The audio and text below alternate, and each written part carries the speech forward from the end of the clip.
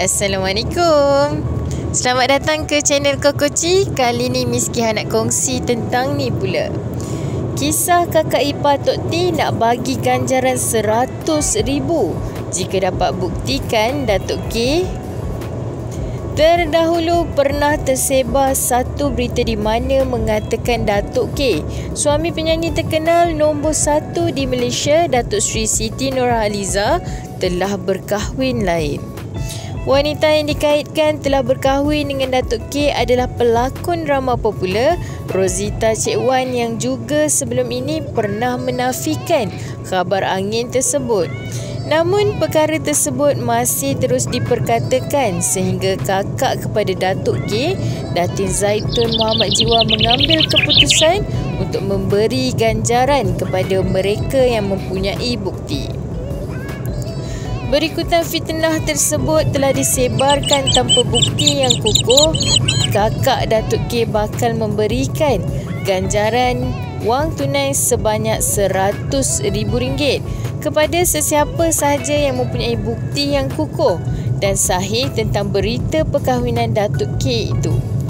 Zaitun turut memberitahu bahawa dia tidak kisah mengeluarkan wang sejumlah demikian demi mencabar individu yang menyebar fitnah terhadap suami penyanyi nombor satu negara, Datuk Siti Nurhaliza. Perkara ini bukan kali pertama terjadi. Sebelum ini juga ada terdengar khabar angin bahawa mereka telah berkahwin. Namun tiada seorang pun yang tampil memberikan kad jemputan mahupun gambar perkahwinan antara Khalid dan perempuan tersebut, kata kakak ipar Siti. Katanya lagi, jika berani mengeluarkan kenyataan tersebut, kenalah berani tampil ke hadapan dan memberikan bukti. Jika ada ganjaran yang saya sebutkan tadi akan saya berikan. Berpihak kepada Rosita Cik Wan pula, dia mengakui yang pelik bagaimana isu ini boleh timbul sedangkan dia tidak pernah berjumpa.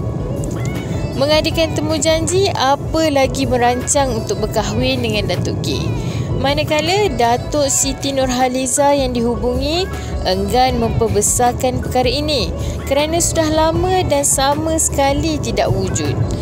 Datin Zaitun mempunyai hubungan yang akrab dengan Datuk Siti Nurhaliza selain dia menerima banyak peluang dalam menerbitkan drama untuk stesen televisyen swasta.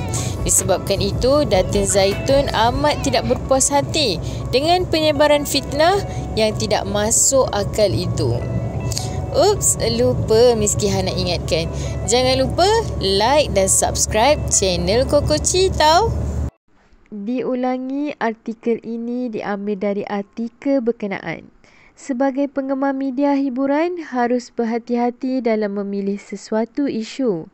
Kami tidak bertanggungjawab kerana pihak kami tidak tahu kesahihan berita yang dikeluarkan. Jangan meletakkan kepercayaan penuh dan membuat spekulasi atas perkara yang kita tidak pasti. Menghayati hiburan boleh, jangan sampai kita melibatkan diri dengan fitnah dan buka aib mereka.